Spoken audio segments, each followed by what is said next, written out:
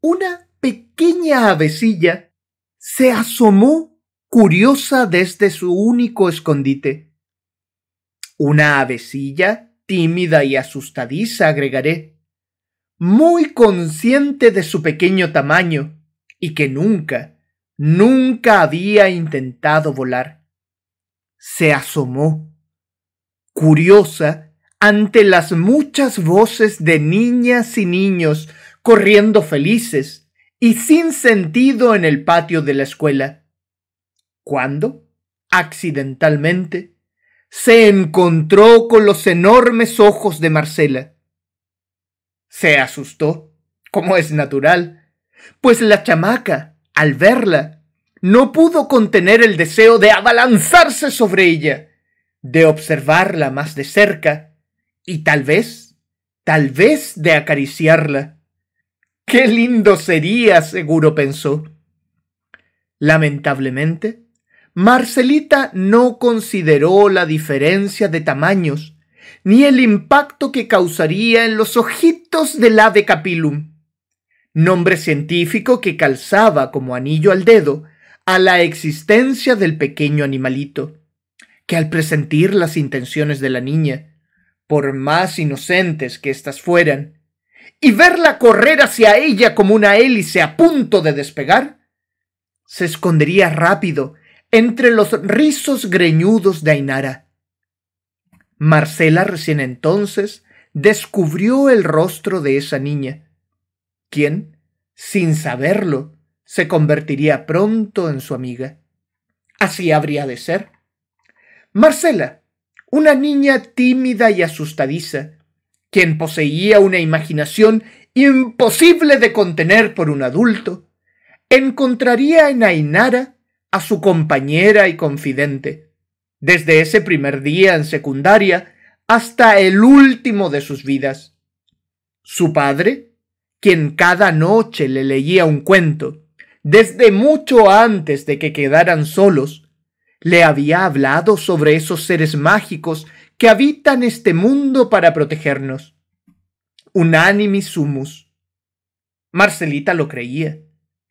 Lo creía sinceramente, pese a que con los años sus compañeros se habían ido distanciando y que todo, todo parecía hacerse más feo entre más crecía.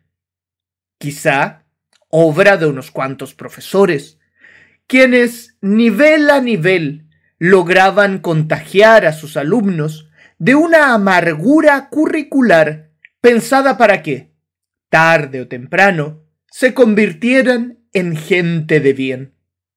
Por eso, solo por eso, Marcelita, al ingresar a la primera clase de ese día, se tentó a dudar, por primera y única vez en su vida, sobre lo que había visto. Esto aun cuando su honestidad de niña la obligaba, la obligaba a mirar de reojo a Ainara, quien sentada en la última fila parecía una atalaya de serenidad. Lo que Marcela no sabía es que entre los rizos de aquella niña efectivamente habitaba un ave capilum de nombre Alicia, además de algunas flores que cuando el viento soplaba en primavera, se dejaban ver pintadas con un hermoso azul. Seamos claros, ese cabello era en sí mismo un universo de realidad. Otro Aleph, más allá de lo que creyeran o no los mayores. Marcela, Marcela, responda. Se escuchó severamente como si un trombón viejo se adueñara de la sala de clases.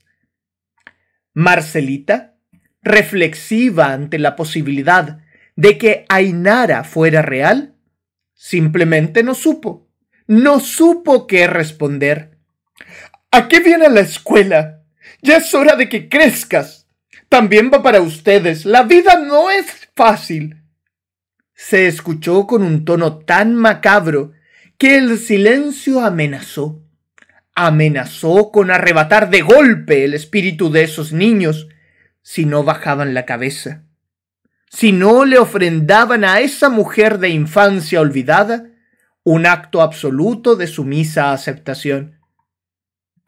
Y así hubiera sido. En verdad lo hubiera sido. De no ser porque la avecilla, al asomarse nuevamente, al descubrir la lágrima que escapaba de Marcelita, sintió la necesidad de hacerse grande, grande de verdad. Por ello, presta como una bala, voló por primera vez, convirtiéndose en una kamikaze dispuesta a dejar la vida por una verdad.